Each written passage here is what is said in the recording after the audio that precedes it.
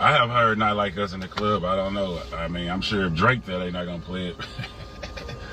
but yeah, I don't know. Damn, that's crazy. They say banned it.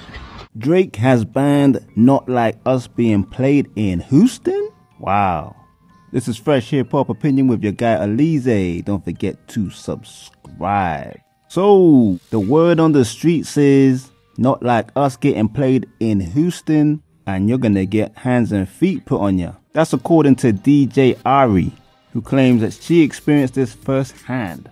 Maybe not getting beat up, but a Twitter user said this Drake really got Not Like Us banned in Houston. And DJ Ari replied, Yeah, I done already got in trouble a few times for playing it at some clubs. So there really is a no play zone in Houston, Texas. And obviously, J Prince is the guy in Houston. And and he's got ties with Drake.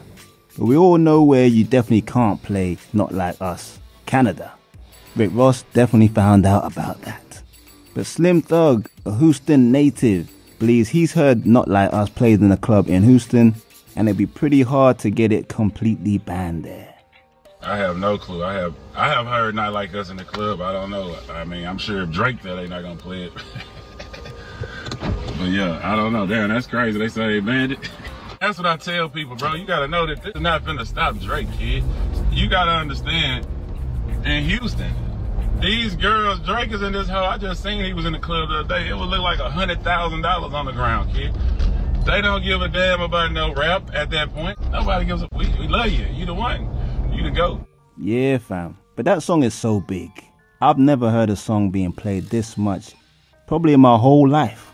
Like I know we're in social media era, you can't really get away from a song when it's really getting played that much. But even in this social media era, I've never heard anything like this. And it doesn't seem to be slowing down. People are still rocking with it heavy. I ain't gonna lie, it's mad catchy.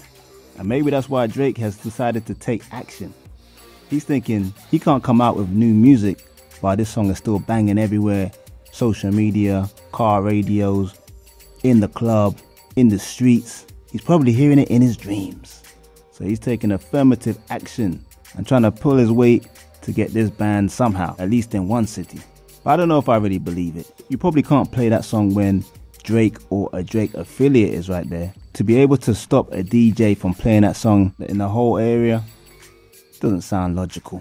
But that's just my opinion. I want to know yours. Do you believe Drake and his people are really getting hands and feet put on DJs that play Not Like Us by Kendrick Lamar. Leave a comment below, like, subscribe, hit that notification bell. It's fresh hip hop opinion. Peace and love.